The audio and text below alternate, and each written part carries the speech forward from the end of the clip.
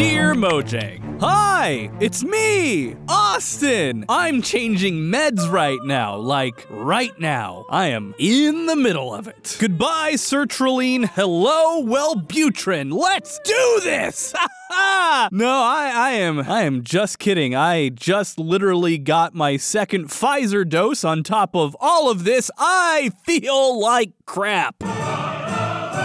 But we are here, we're doing this. I'm playing Minecraft because it's the thing I do when I don't know what to do with my life. I think I've said this before, but I'm like the most basic Minecraft player on earth. Other than I'm rather fond of hardcore mode, I guess. Uh, the only thing I really like to do is the same stuff I liked to do when I first got the game back before the 1.0 release. I like to just sit and farm and simulate a simple provincial life. I try to make sure that I never have to worry about food, shelter, or monsters, and I tame the world around me to make it like a haven. And sometimes I build long tunnels with trolleys or whatever, but point is, I'm definitely not one of those guys who gives two bananas about killing ender dragons or omega turbo whites or whatever. I'm just the guy trying to make as much bread and cheese as I can. Wait, is there is there cheese in Minecraft? Let me look real quick.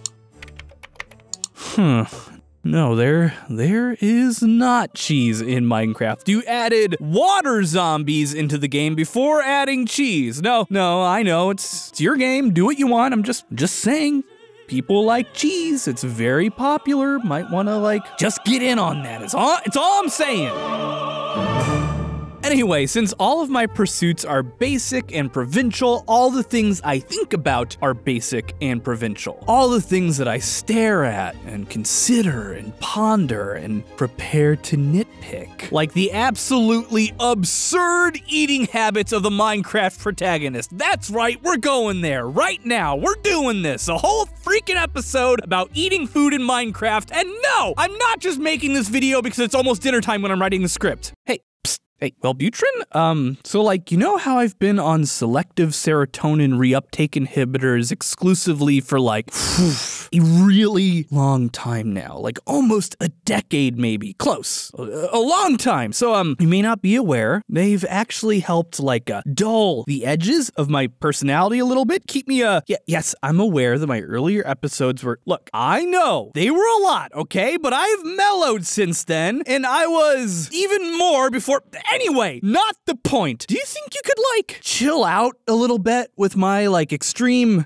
uh, you can't. You're a norepinephrine dopamine reuptake inhibitor and therefore work totally differently from something that blocks the reuptake of serotonin. Woo, boy, we are in for some wild of a ride tonight. Ye freaking ha! Okay, so food in video games has always been a little goofy, even in games that are supposed to somewhat mimic real life, like The Long Dark, Fallout New Vegas Hardcore Mode, Fallout 4 Survival. It's not just Skyrim where you can eat 500 wheels of cheese. Hey, cheese! Mojang, cheese. Anyway, eating 500 wheels of cheese in order to gain back health quickly in an emergency, food in video games is never truly realistic. You don't usually get full, and with some specific outliers aside, you never really gain weight due to overeating. Food in these situations is more like a meter that you have to keep track of and balance, a resource like health or like a timer. And it's fine. I don't hate it at all. I actually kind of love it. But it does have some extremely weird implications, and we're looking at those today with Minecraft right now,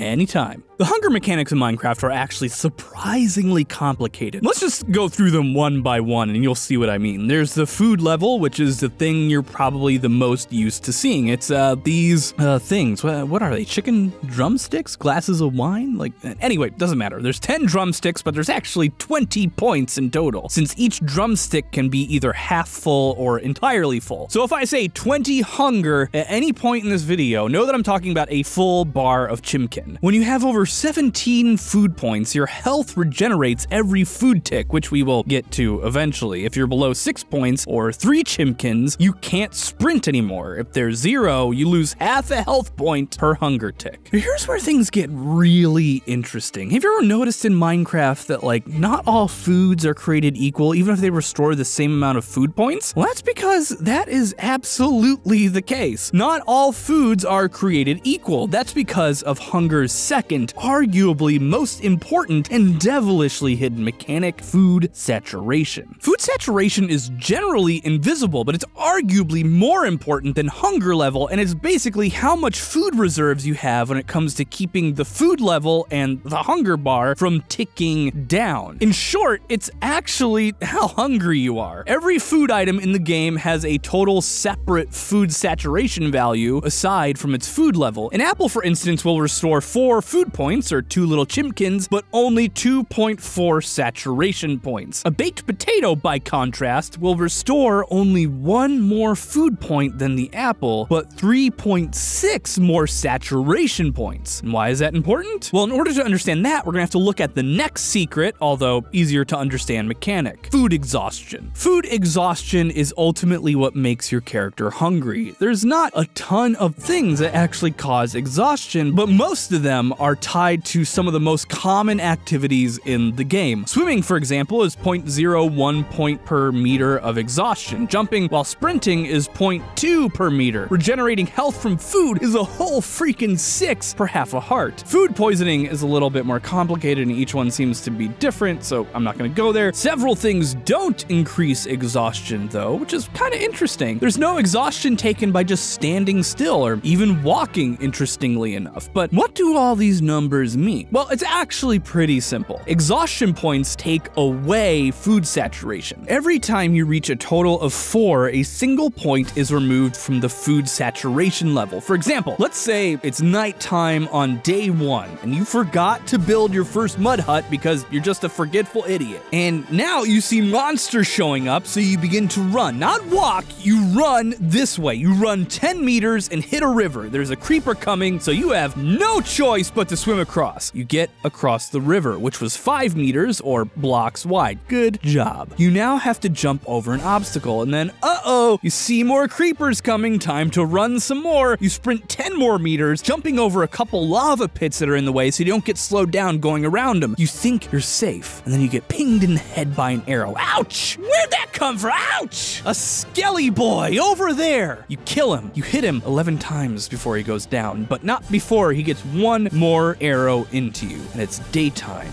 Whew, you made it.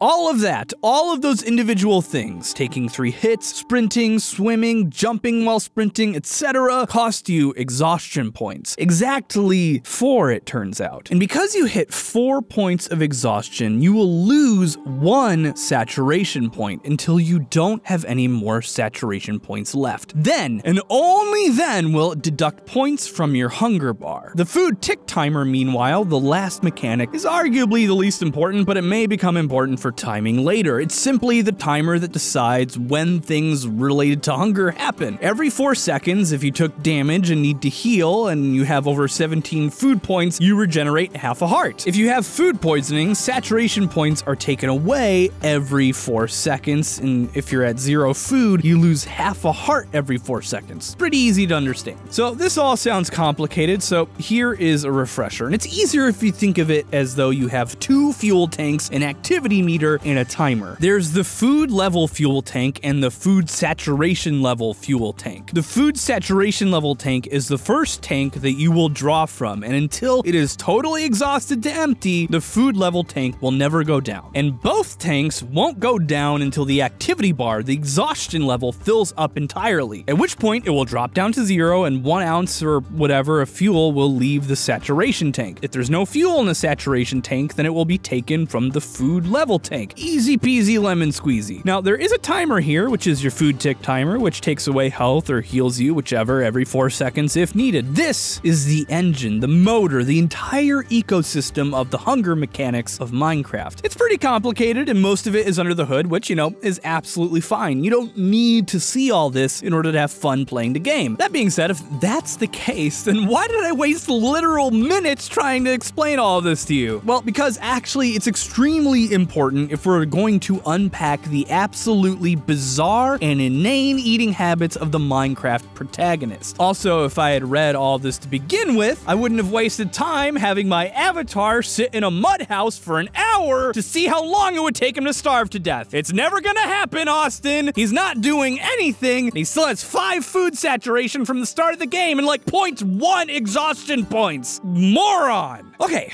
now that we understand the underlying mechanics of hunger, let's look at how utterly ridiculous it is in Minecraft. And in order to really dive deep into that, we're gonna have to look at one of the most fundamental cornerstones of human society bread. Bread on its surface is simple. It's the seeds of the wheat plant taken and ground into an ultra fine powder. You add some water, and technically you could be done now. You do have to knead it, of course, but uh, in theory, you can make bread with just flour and water. It does take a while for wild yeast to propagate, but with that waiting, you get something extraordinary a nutritious, portable, long lasting food that tastes incredible. Entire civilizations have been founded under its banner and entire civilizations have crumbled to dust in its absence. Bread is a fundamental building block of human civilization, second possibly only to rice, and it is the key to understanding just how out of control the Minecraft protagonist's voracious appetite is, and dang it, now I'm hungry! Anyway, taking our newfound mechanics plus some in-game testing I did to determine that the Minecraft protagonist can jump approximately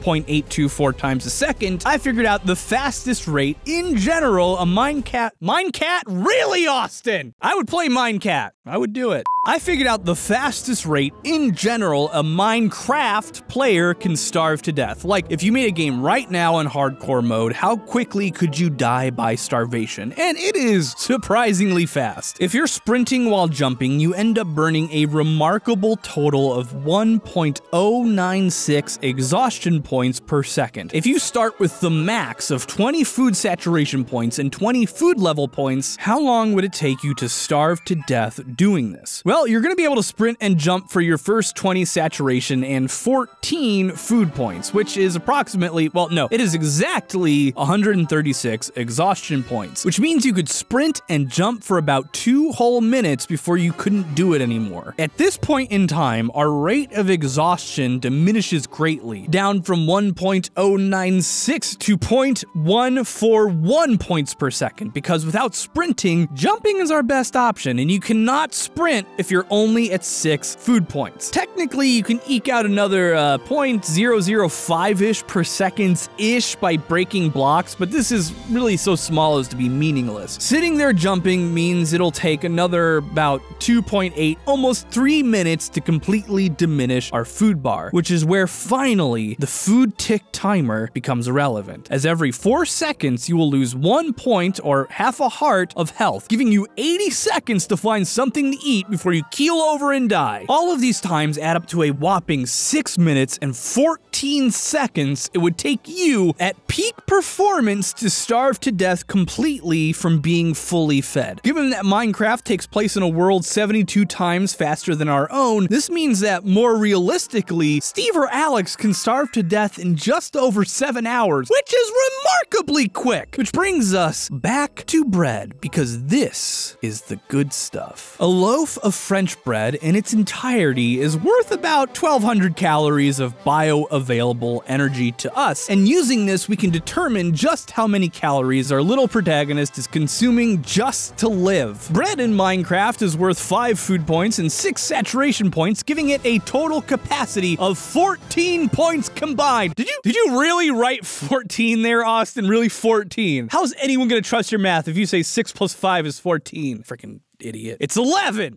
Anyway, 11 points multiplied by 4 to account for exhaustion points can weather about 44 exhaustion points before being used up, meaning its calorie to exhaustion point ratio is 27 to 1. At peak exertion, Steve can rip through this 1200 calories in just 40 seconds, which we do gotta multiply by 72 to get our real world time of 48 minutes, making a sprinting and jumping Steve consume roughly 0.41 calories per second or 20 24 calories per minute, which is actually almost exactly what sprinting takes up to a normal human. That's uh, kind of interesting and surprisingly accurate. But it does get worse, or, or, or better, because Olympic sprinters only sprint for about like 9 to 15 seconds. But as long as you keep cramming food into Steve or Alex, they can sprint essentially forever, which is where their real superpower is 100% efficient calorie absorption and use. Calories put into Steve and Alex can be utilized immediately and without delay, which is something we do not possess as human beings. And the benefits of this evolutionary adaptation become more pronounced when you consider something that I've been leaving out this entire time. The Minecraft protagonist has Wolverine levels of healing factor.